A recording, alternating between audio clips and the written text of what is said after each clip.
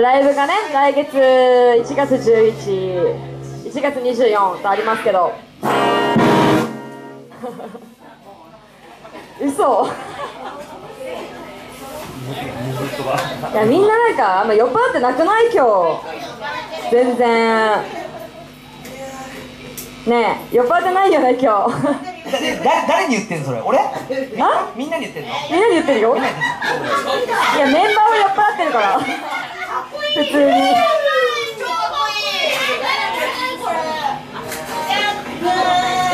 坊主にしてから頭寒いんだ。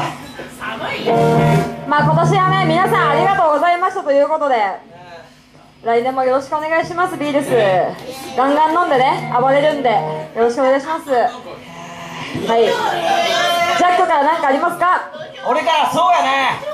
まあねビールスもう来年で3年目ぐらいか。でも本当にこんなねあの技量も何もあの魅力も多分あんまりないバンドだと思うんだけど魂だけはね、えーお前らにね、えーいっぱい捧げてね楽しい楽しいライブにいつもしたいと思ってるからね、えー来年も本当に、えー今年は本当にありがとう。そして来年もよろしくお願いします。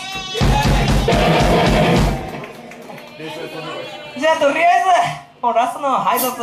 もうパッパと終わらせて早くあとあとああのまあマジで。まあ今年ビールスはなんやろ。まあ僕リーダーじゃないけどな。一応締めの言葉みたいなのやらせてもらうけどな。あれ一年ありがとうな。別に恋なんつったことねえんだけどよ。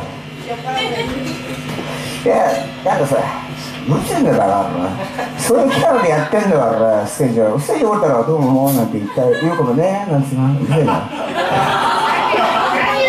うるせえわあほん。とあなん。でこうだねまあたださほら新しいメンバー入ったからだ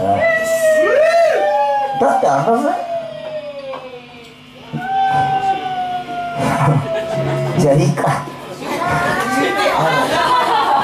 ちょちろねちょちろちょちらだはいよろしくいいだろうなぴったりだよマジでぴったりなんだよ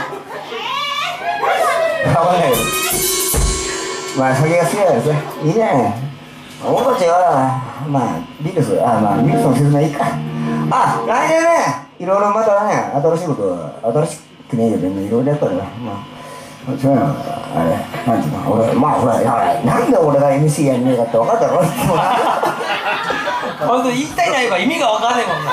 とりあえずまあ。違うよ。なんか言いたいこと言えてなかったからさ。だって言いたいこと言えてないのに急にこうなってたもん。だからまあ来年もよろしくということでもう同じこと何回も言そうそうそうよろしくないだからやろうよもうあちょっとね。